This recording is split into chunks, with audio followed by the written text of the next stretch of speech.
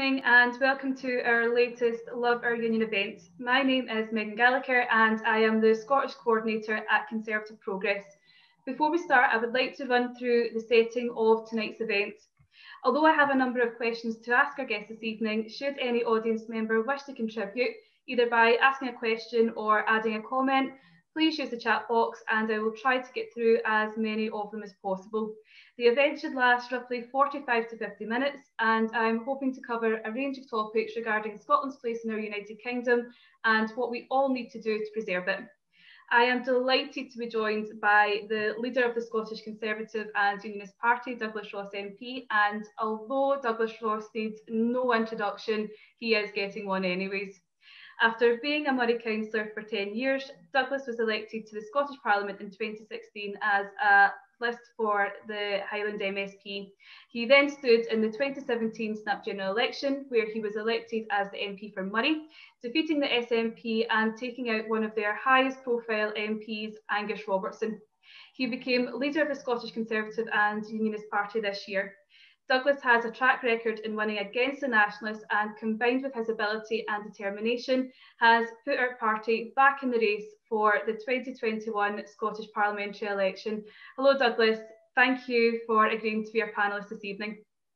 No, thank you very much, Megan, and, and, apologies for these technical glitches that seem to beset my uh, attempts to connect with people, whether it's members, whether it's um, virtual roundtables I'm having and such like. Uh, we got there in the end we definitely did, and thanks again. And we're just glad that we've got you now. Douglas, I know you've had a busy few months since becoming leader in, of the party in Scotland, and I would like to ask, how are you enjoying your new role as party leader? And did you think some years ago, when you were a councillor, that you'd be entering the 2021 Scottish parliamentary elections as leader of the Scottish Conservative and Unionist Party? Well, as, as a typical politician, can I deflect and not answer that immediately, Megan? And, and just maybe if it's okay with you, uh, make a few opening remarks because I, I really am uh, delighted to have the opportunity to speak uh, to Conservative Progress members uh, this evening, albeit a wee bit later than, than we scheduled. And again, apologies for that. Um, and I'm especially pleased about uh, the work that Conservative Progress uh, are doing with the, the Love Our Union campaign. Uh, and I think it's clear from what I said in, in my conference speech um, uh, just a couple of weeks ago, and we'll come on to that in a minute, that the need to, to promote in our party the good that the, the union does and how each of the four nations of the UK really contributes to it is a view clearly that, that I strongly share. And um, the reason I, I, maybe took a, a, slightly novel approach in my conference speech to uh, be a, a little bit controversial and, and to say things that people aren't used to hearing uh, potentially at conference speeches, it was because I think there is a, a small minority in our party, a, a, section in our party that's that's all too willing to give up on the union. Now that's either because they think the, the fight is already lost and they believe uh, independence is inevitable, and, and I want to say that's absolutely not the case, uh, or because some believe that, that England um, and the, the UK government's uh, contribution uh, to England is somehow uh, more important than that to the other parts of the UK, Scotland, Wales, uh, and Northern Ireland. Um, and sadly, these views exist at, at, all levels in our party. So it's important now more than ever uh, that those of us who believe in the, the future of our union, that it's worth fighting for, challenge those views. Um, and that's certainly what I was doing at conference. Because if we don't challenge those views, the only people that are going to gain out of this are the nationalists. The SNP, it will benefit from it. It gives substance to their argument that the rest of the country doesn't care about Scotland, so why should Scotland want to remain part of the United Kingdom? Now, we know that's not true, and we just need to restate our commitment across the whole of the party at all levels um, that um, we are conservatives and we are unionists. It's in our name, it's in our DNA, and it's absolutely what we are about. Um, and I really thank Conservative Progress um, for the work uh, that you're all doing to make that case. Because ahead of next year's elections, and as you said, I, have fought the SNP and I, have beaten the SNP before, um, we do face as a party really the most important election in, in the history of devolution. And the whole of the Conservative Party right across the country needs to get behind us uh, for that fight because an SNP majority is not inevitable, uh, independence is not inevitable, and it's not going to be easy. I'm not going to underestimate the challenge that, that faces us. Um, but we've got to remember in 2016, when I was elected as a Highlands and Islands list MSP, people had written the Tories off. they said, you know, the SNP have got a majority in the opinion polls. They're going to repeat that. They're going to be returned uh, with another majority, and the Tories are, are going to languish well behind. Well, we stopped the SNP. Uh, we removed their majority. It was done because uh, Scottish Conservative MSPs went from 15 to 31. We more than doubled our representation in Holyrood. So let's not, you know, uh, fall into this trap of defeatism and disinterest. Let's go in there positively about the positive case we can make for the union and the positive case we can make for Scotland. That's certainly what I've been trying to do uh, in the first couple of months uh, as leader. We've also got to, try and bring this, I see quick marks, Megan, and as you know, I'll just go off and, and, and speak far too long, so curtail me when I need to be curtailed. But we've also got to, you know, remember, we're in the middle of a, a global pandemic, a pandemic that continues to, to take lives, that we're seeing, uh, and sadly, an increase in infection rates across the country, businesses uh, closing, uh, jobs under threat. And nobody wants to be focusing on a constitutional battle that we fought six years ago. They want all the attention of governments, of political parties, of politicians to be focused on getting over uh, this COVID 19 challenge that we all face, this crisis that has enveloped both the health emergency and the economic emergency that we'll have to, to respond to. So that's why I think the Constitution has to be part. We can continue to make a positive case for the Union, uh, a positive uh, message for Scotland's place in the Union and people that the priority is facing us.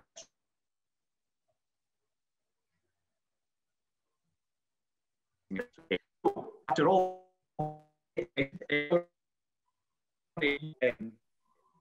leader of the party for, for a couple of months. You know, when I was the councillor, did it did I see myself going into this election as a leader? So that was not the case. But interesting, when I was elected, I was elected in 2000, and another thing happened in 2007. Like first, my time in elected office uh, the MP that the SNP have been in charge in Scotland.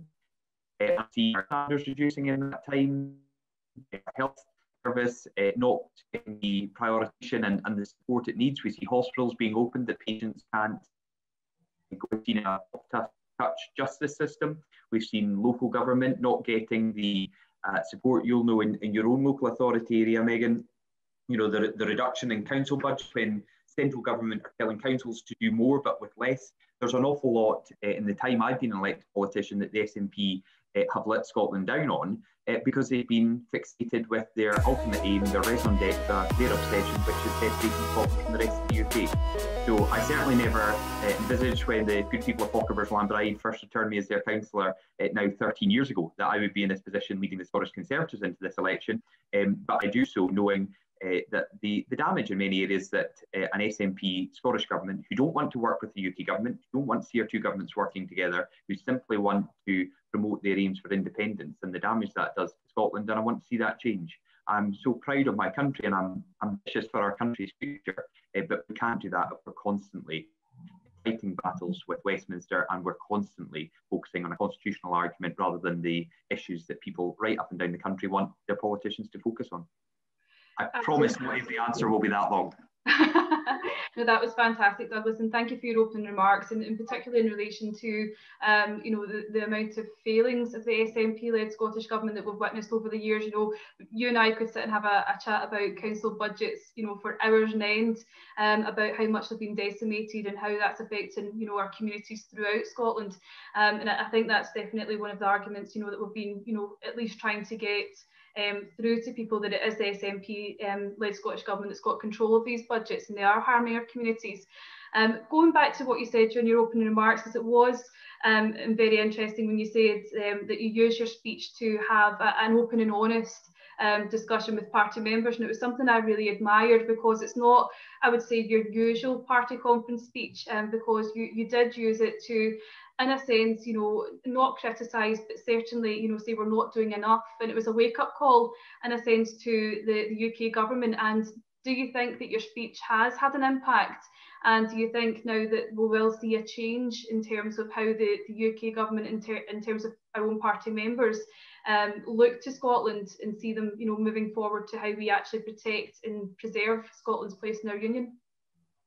Yeah, well, well, first of all, I've, I've never shied away from unpopular arguments, whether it's um, you know as, as an elected politician standing up for, for local people in my constituency or, or for cases that I think are, are really important across Scotland, uh, or in my other pastime, you know, I'll make unpopular decisions on the football pitch, but you've got to have the confidence to do that and, and to believe uh, in your own argument, in your own case, uh, and to make it even if you think, you know, I could have walked into to the virtual conference hall and made um, a very nice speech that people would have said, you know, that that's fine, but it wouldn't have hit home the message I wanted to hit home. And therefore, to, to respond to your point, yes, I, I, think it, it has made a difference. It is a wake up call. Certainly, the response I've had from colleagues south of the border when I've been down in Westminster and, and, and people that have been contacting me since, um, it has had the desired effect. Um, it's not met unanimous approval, and I wouldn't expect it to.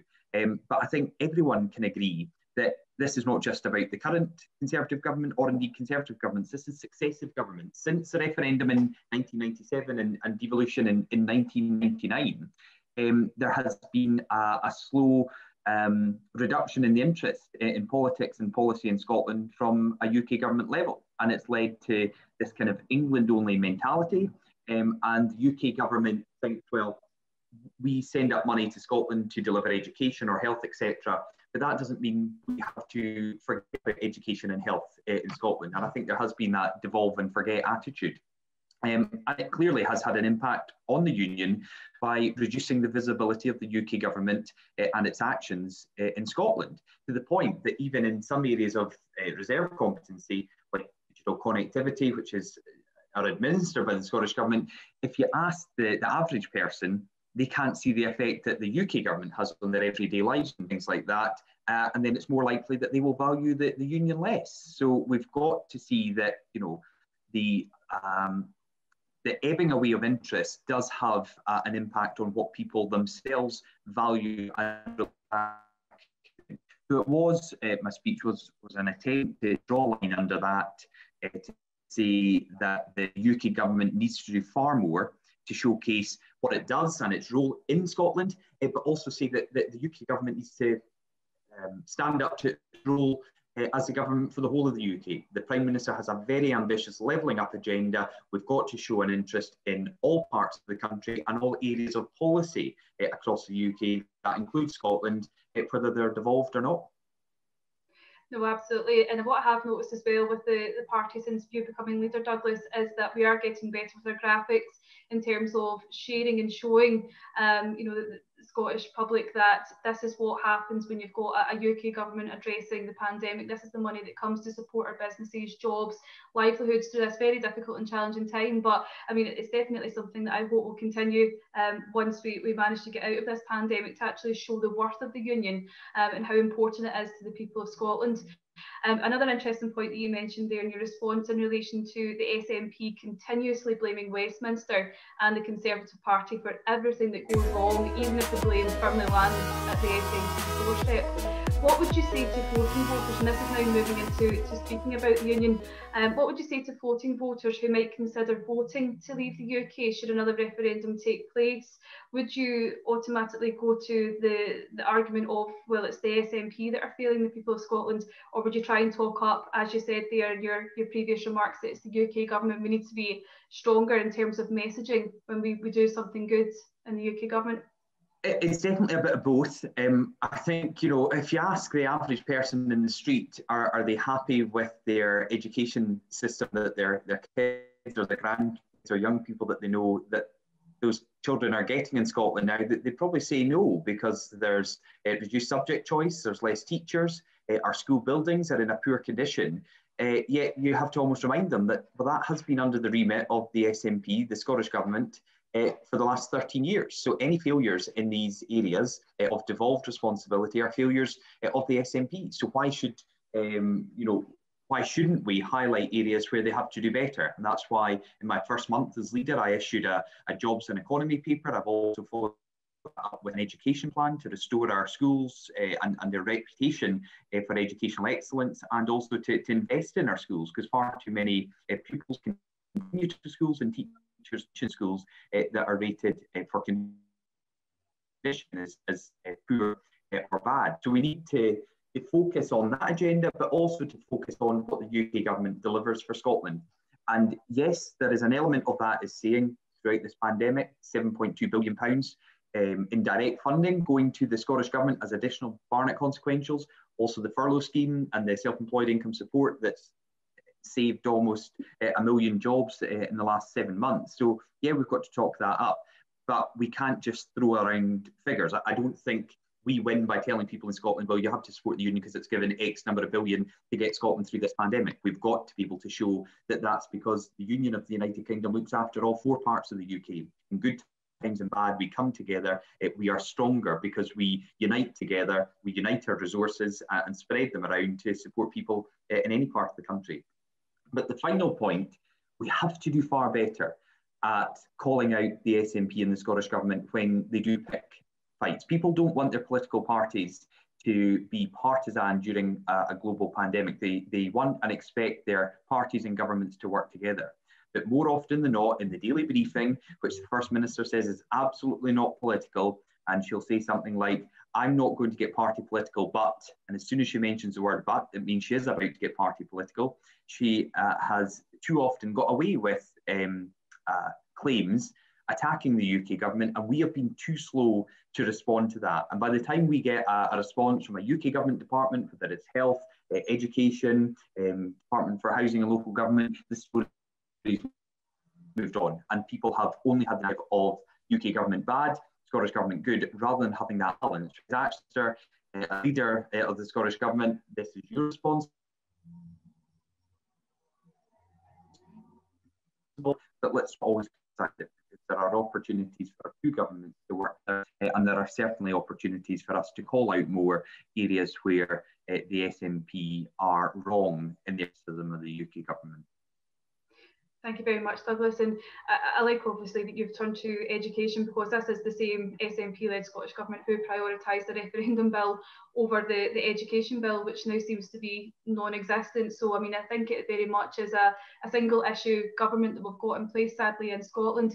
And keeping on the union track, I was trying to get away from um, football an- uh, analogy tonight, but it looks as though we have got a question in saying, hi Douglas, um, Ed McGuinness, and thanks for the call. I know football is a passion of yours.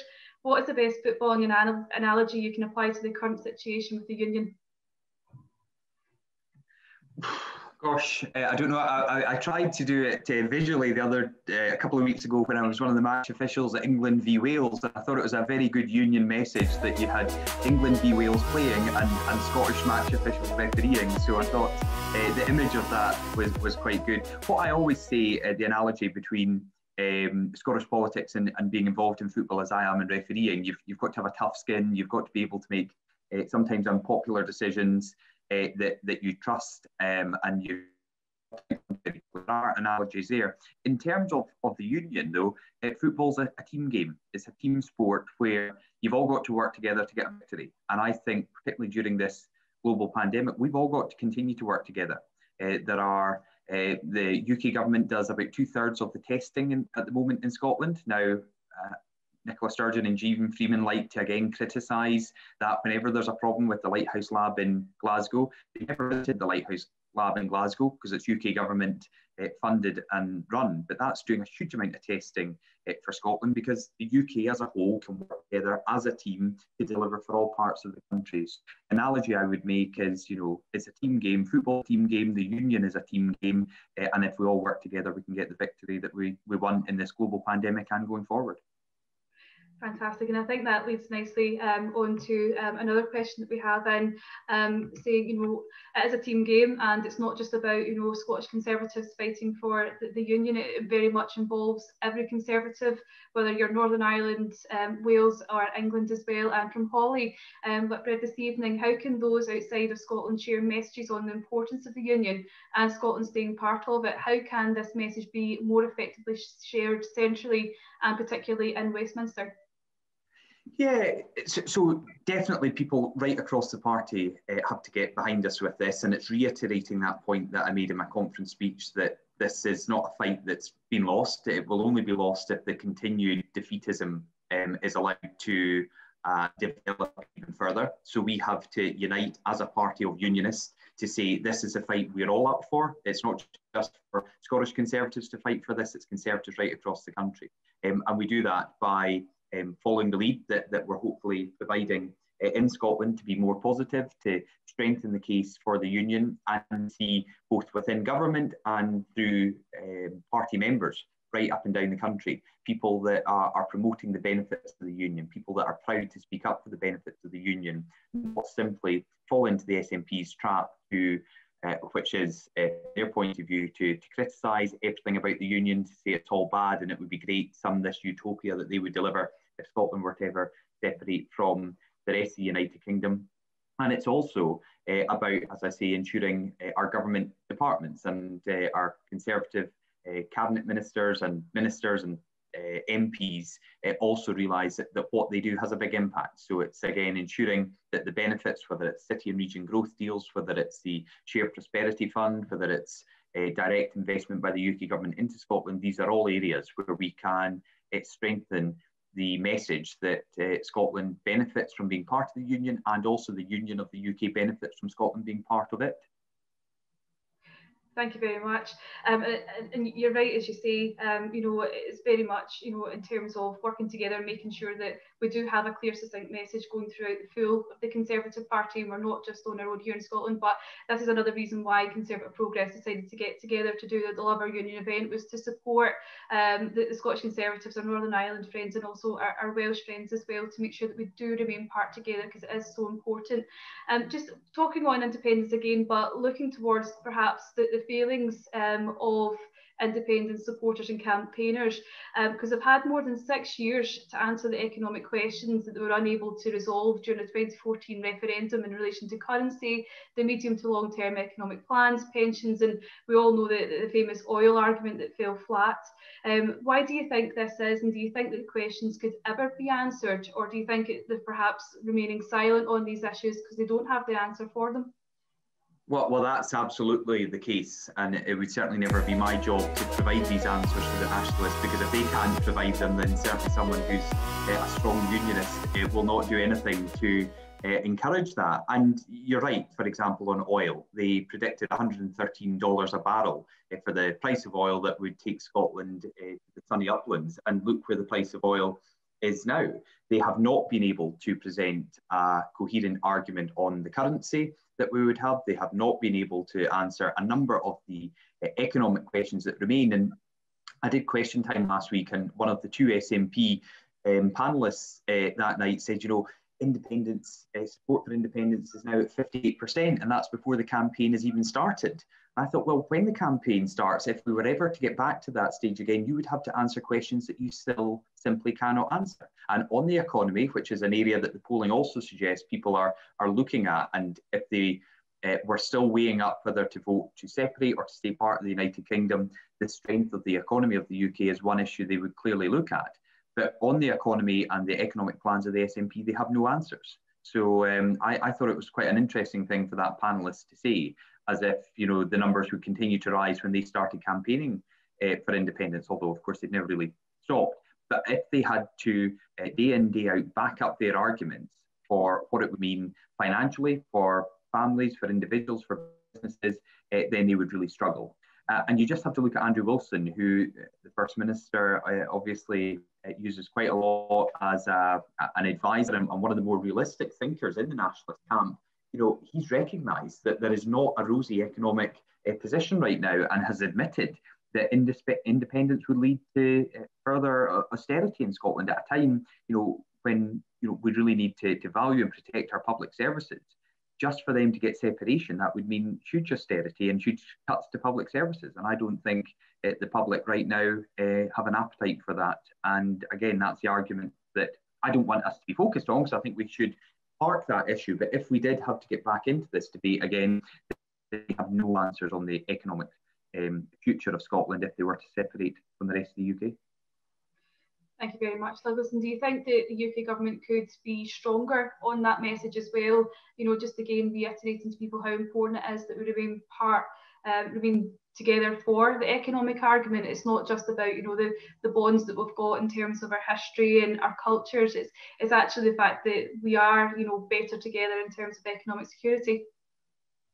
Yeah, and it goes back to something I said earlier. It is that um, political links, it's that cultural links, but it's also the, the economic links that uh, that we all share from. And you've just got to look at, at Rishi Sunak's schemes. The, the furlough scheme was as successful uh, in the north of Scotland as it was in the south of England. Um, the hospitality and tourism industry in Wales and Northern Ireland, England and Scotland benefited from the, the cut uh, in VAT from 20% to 5%, the extension of that to March next year. These are all issues that you know were the same right across the country. It was an urgent need that this UK government has stepped up to deliver on, and it is one that has uh, helped businesses, uh, protected jobs, and secured um, um, vital um, jobs in, in the forthcoming period, the, the more difficult months ahead, because of the um, strong action taken by the UK government, backed up by the UK Treasurer and UK funds to support every part of the union. Thank you very much, Douglas. I'm just looking back at the, the question and answering box just now, and I've got a question in from Rose McCall, um, one of our, our uh, councillors from Perth, and she's saying that considering the strong stance that the PM has made and continues to make on a second independence referendum, um, a stance that she is happy with, is there a possibility by removing the independence question in this way, does that mean that the question moves towards Brexit in the, the EU, where the decisions and bills coming through Westminster have a greater effect, and how do we counter that for the Holyrood election? Yeah.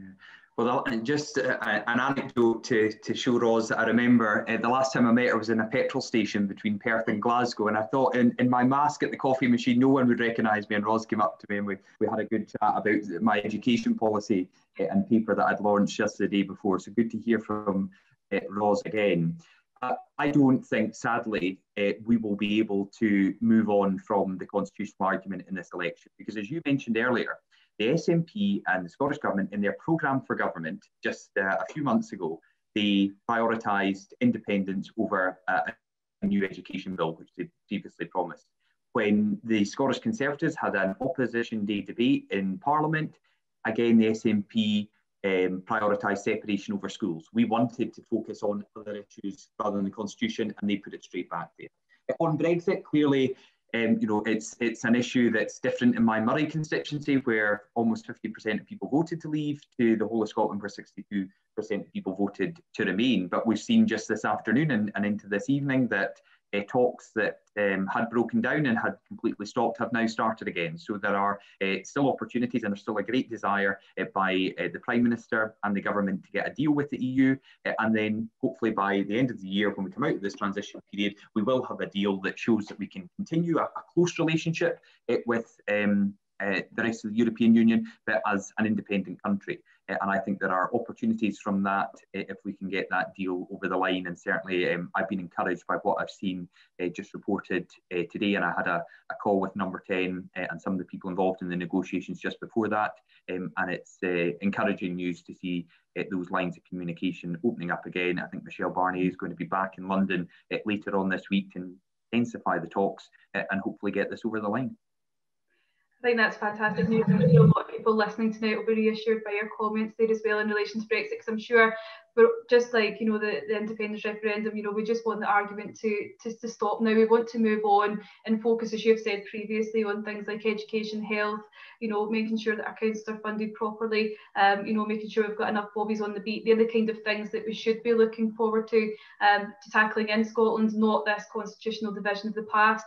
However, just staying on um, the, the constitution just for another brief moment before we move on. Um, I've got another question from Andrew Waddle, and he's saying, is it time for a referendum to, sorry, is it time to pass a constitutional law that further protects the United Kingdom from nationalism on referendums? Uh, well, obviously, uh, it's ultimately a, a, Section 30 order would be uh, only granted by a UK government. So there is that protection there. A, a UK government would have to uh, respond to uh, doubtless constant um, requests by the SNP to, to, hold a referendum, but I'm not sure we need further legislation to uh, enshrine that because currently uh, an official, legally binding, uh, dare I say it, once in a generation, or as the First Minister previously described it, a gold standard referendum, it can only be delivered through a Section 30 order, which is granted by the UK government. Thank you very much, Douglas. Um, just reflecting back on, in 2014, if we can just rewind back to 2014 for a second, people who supported the union, they were all called um, the silent majority. Um, and do you think it's time for people who support the union to talk louder and more positively about the benefits of being part of the most successful union in the world? And what would your message be to, to anyone watching tonight who's sort of sitting on the fence um, about Scotland's future? What would your message be to them? Well, well, I definitely think we we need uh, everyone who supports the union to be more vocal. And if we've learned anything from those who support separation, is they've never given up. They've never uh, reduced their volume or their enthusiasm uh, for independence. And, and perhaps we took our eye off the ball because we thought 55% vote in 2014, we had won uh, a referendum that both sides agreed to accept. And, and sadly, one side has continued to promote their case to, to rip Scotland out of the UK for the last six years, as I said earlier, at the detriment of other issues that they could be focusing on and could be delivering on. So yeah, I think we've got to be more vocal. Um, those sitting on the fence, I know it can sometimes be uncomfortable. I mean, I just have to look at my social media um, when I post anything and can see why people would be put off commenting, um, whether on social media, whether through the local press, uh, even just in a workplace or other cases in families. But those of us who are passionate about the union uh, know we've got to be um, as passionate and determined as those on the other side of the argument. So absolutely, uh, I think we can do more, we should do more.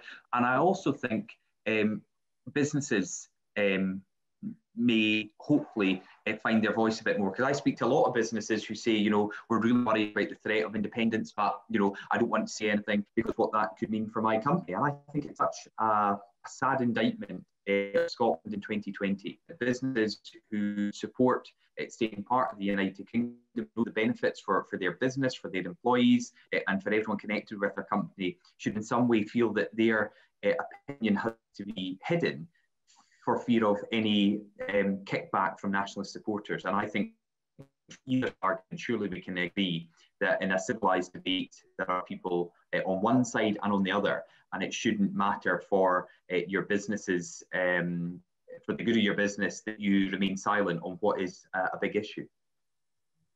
Thank you very much, Douglas. And we've seen it all too often. So many businesses, as you say, having to to stay hidden in terms of their views, just in fear that, that their business will be impacted. I mean, we've seen so many different attacks. Tunnock's, which uh, is just down the road from me, um, from where I live in North Lanarkshire, it's, it's just horrible the abuse that people get just because they, they are unionist or pro-union, um, and it really shouldn't be like that. But again, that's the divisions that's been caused by by nationalism over the last um, decade, even more than a decade now.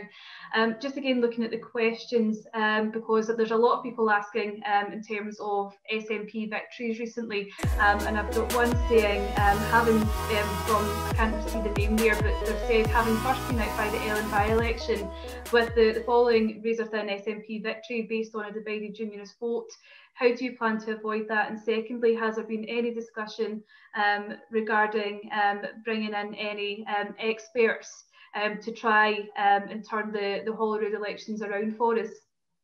Well, first of all, if you look at the Ellon by-election, uh, despite what the opinion polls would suggest at the moment, uh, our vote increased there by, I think it was 1.8%. So we went up in the polls uh, in the Ellon by-election. We had a great local candidate, John, who did fantastic work um, on the ground there uh, with his team. It was a very difficult uh, by-election given the, the current restrictions we have. But because of the uh, proportional uh, representation if there were supporters in other unionist parties uh, who would have, in the event of no Liberal Democrat or Labour candidate supported us, that comes through in the transfers. And sadly, uh, we found some of the transfers from the other parties it went to the SNP rather than the, to the Conservatives. So I don't think, and I certainly don't uh, agree that somehow just having one uh, unionist candidate that would uh, deliver a different result. What I would say is these other parties, when it goes to a larger election, from a council by election to constituencies across Scotland and indeed the, the regional lists that we're fighting on next year, have to see that the opinion polls as they currently are, so only the Conservatives um, can put the brakes on the SNP. We did that in 2016. We can do it again uh, next year. And there is a, a, unionist party that people can coalesce around, and that's the Scottish Conservatives. We don't need new parties, we don't need uh, deals or anything. We can show people that if they leave the union, they want a brighter future for Scotland, a, a party that's already developing new policies that aren't traditionally, in, in some cases, uh, viewed as conservative policies, but a, a, range of policies that can attract a broad spectrum of support uh, from across the, the unionist parties uh, in Scotland, then the only ones that can do that are the Scottish Conservatives. Excellent. It's, it's a very strong message, and one certainly um, we'll be going out once it's safe to do so, um, back out in the doorsteps to, to spread once it's once the, the pandemic's over and we actually can get back to that. Um, I'm just looking again um, at the chat questions. Um, and I've got an interesting one here. It is swaying slightly from what I've been talking about, but one thing voters can't stand with all political parties is the internal division and infighting. Um, is there any scope for looking at the current um, state of the, the, SNP party in terms of their selection processes and, of course, um, what's going on just now in the Scottish Parliament? Well, that's up to them. I, I suppose I'm, I'm, not again uh, like I wouldn't dictate the the nationalist uh, economic policy for an independent Scotland. I, I, wouldn't want to dictate to the SNP what they should do with internal battles. But I think it it shows. I mean, some of the divisions in the party, both at Westminster, I see it with uh, people who are clearly in the Salmond camp and those who are in the Sturgeon camp, uh, and at Holyrood. Um, if it had not been for a global pandemic, some of these stories would would make the, the front pages of the papers. Uh, so it's, uh, it's um, something that is happening day in, day out. They have divisions within their party, they have arguments within their party, uh, but understandably, people are more concentrated on um, this health emergency that we're all facing and the economic uh, emergency that, that we're in and, and will be facing for many years to come. But the Parliament is trying to do something about this. The Parliament is trying to hold a, a cross party um, committee, uh, are holding an inquiry into the Scottish Government's failure uh, over the, the Salmond allegations and the cost to the taxpayer, now well over £600,000, I think, in their failed uh, legal challenge uh, against Alex Salmond. So there is a lot going on, but there is a lot of frustration as well within that committee, not just from, from unionist uh, politicians, but from the SNP chair, that uh, chair of the committee, that evidence they were promised by the First Minister when she stood up in Parliament and said, yeah, we'll be open, we'll give you everything you need, it has been withheld. There's uh, threats to go to court to get documents. Uh, that is not the open, transparent SNP party they would like to portray. And it is something that is deeply troubling and something that we need to get to the bottom of. And I know it, whether it's Murdo Fraser and Margaret Mitchell who serve on the committee for, for us or, or other politicians, they are determined to get to the bottom of this.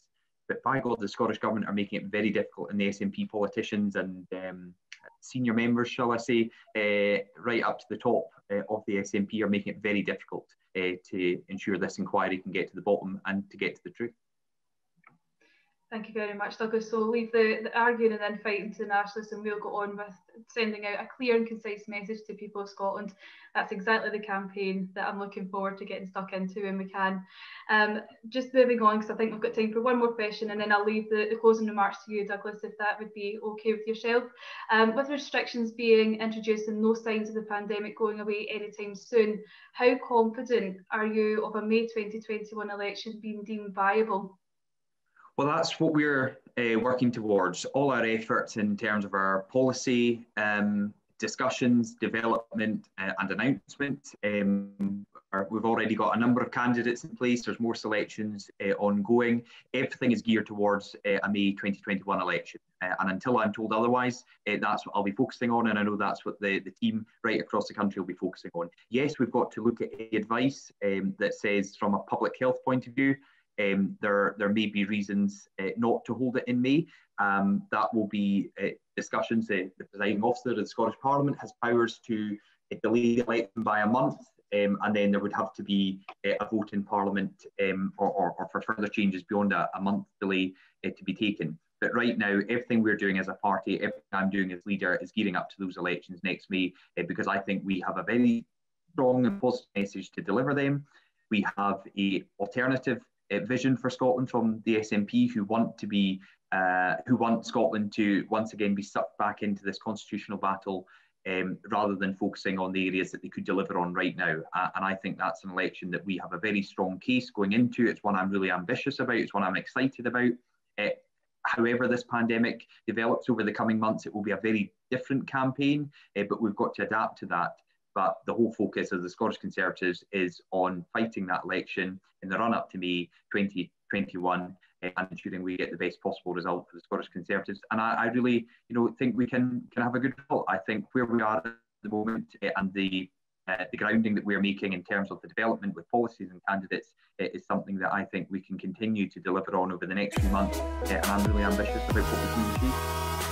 Absolutely, no, thank you very much. So Douglas, I'm going to leave the closing remarks to yourself um, you've been an absolutely fantastic panelist this evening and we've thoroughly enjoyed um, listening to your contributions. But what would you say to each and every unionist who's on the call tonight who is now thinking about um, the, the, the, the future of the union and you know how we preserve it? What would your message be to each and every single unionist who wants to get more involved and they want to help us keep Scotland as part of the United Kingdom?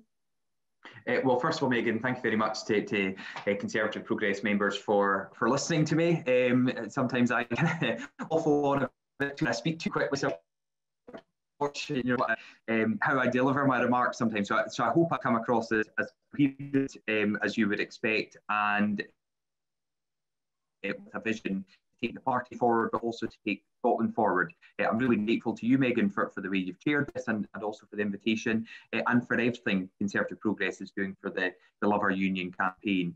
Uh, as I said, this is probably going to be one of the most important elections in Scotland since devolution. So everyone on this call uh, and everyone who believes in the union and believes in the Conservative and Unionist Party and how we can continue to forge our strong links right across this country, this proud nation of four countries, uh, the United Kingdom, needs to get behind us, support us, uh, support what we're doing, get behind our call for action, put your shoulders to the wheel, and we can deliver a result that many people in the media, whether it's in London or in Scotland, think can't be delivered. Well, I'll tell them they're wrong. It can be, and with me at the helm, I'm determined to do that, and with a great um, selection of candidates and policies, I really think we can achieve great things next May. Uh, and I'm delighted with anything uh, that Conservative Progress members can do to support us in those aims and we certainly will, Douglas. Thank you so much again. And I think that's a fine, a fantastic note to end on. So thank you very much. And to everyone who's tuned in tonight to listen, thanks again. And for those who were not able to, this will be um, uploaded onto YouTube for people to look back and reflect on. So thank you very much again, Douglas, for your time. And we'll be in touch to support you further as you enter your 2021 Scottish Parliamentary elections. Thanks very much. Thank you. Bye bye now.